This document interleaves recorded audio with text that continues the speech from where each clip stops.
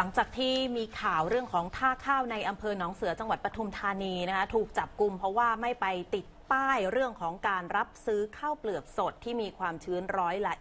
25 การไม่ติดป้ายและปรากฏว่ามีการดำเนินคดีทางอาญาก็คือ ปรับไม่เกิน 1 0 0 0 0แบาท แล้วก็จำคุกไม่เกิน 5 ปี วันนี้ค่ะเจ้าของโรงสีและท่าข้าวหลายแห่งก็เห็นข่าวที่เกิดขึ้น แล้วก็เกิดการตื่นตัว ติดป้ายราคารับซื้อข้าวเปลือกตามที่กระทรวงพาณิชย์กำหนดนะคะ ในขณะที่ประธานชมรมโรงสีข้าวจังหวัดปทุมธานีก็แจ้งทุกโรงสีและทุกท่าข้าวจะต้องปฏิบัติตามข้อกำหนดที่ออกประกาศมาโดยตลอดเพื่อเป็นการป้องกันการถูกดำเนินคดีค่ะ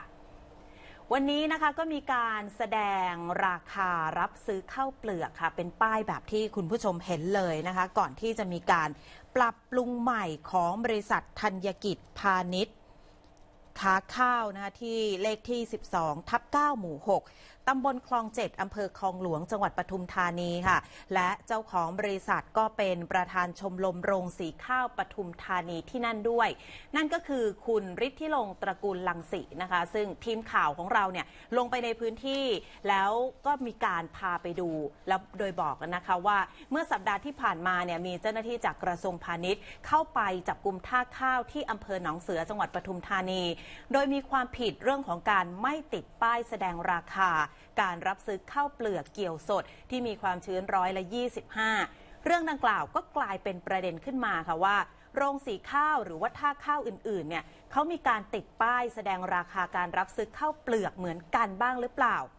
แล้วถ้าติดแล้ว จะต้องติดแบบไหนถึงจะถูกต้องตามกำหนดของกระทรวงพาณิชย์ คุณฤทธิลงก็บอกนะคะว่าตั้งแต่เปิดโรงสีข้าวมากว่า 7 ปี ก็แสดงป้ายราคารับซื้อให้เกษตรกรเห็นชัดเจนมาโดยตลอดสำหรับประกาศในราชกิจจานุเบกษาฉบับใหม่ปี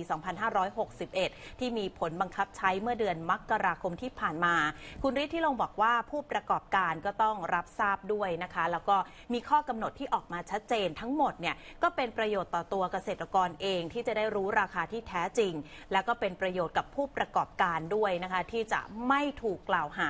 ว่าเราเนี่ยไปเอาเปรียบชาวนาค่ะ อย่างน้อยที่สุดมันต้องมีตรงนี้อยู่แล้วแต่ตรงไหนตรงนี้เท่าไหร่เท่าไหร่แล้วเราก็มีรายละเอียดลงไปว่าฝั่งของเราเนี่ราคาเท่าไหร่เราก็ต้องมีนี้ตรงนี้ให้เห็นอยู่แล้วแล้วราคาจะซื้อคือ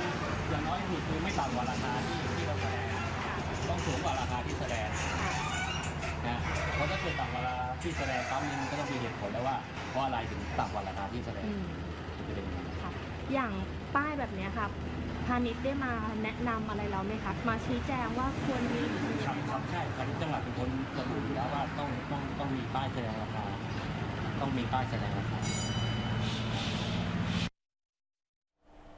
มีรายงานนะคะว่าตั้งแต่เดือนตุลาคมเป็นต้นไปเนี่ยชุดเฉพาะกิจของกรมการค้าภายในกระทรวงพาณิชย์ จะออกตรวจสอบโรงสีและท่าข้าวทั่วประเทศนะคะก็มีการกระจายกำลังออกไป 10 ชุดด้วยกัน เพื่อที่จะไปตรวจโรงสีและท่าข้าวทุกแห่งว่าปฏิบัติตามข้อกำหนดที่มีการประกาศออกมาหรือไม่ค่ะ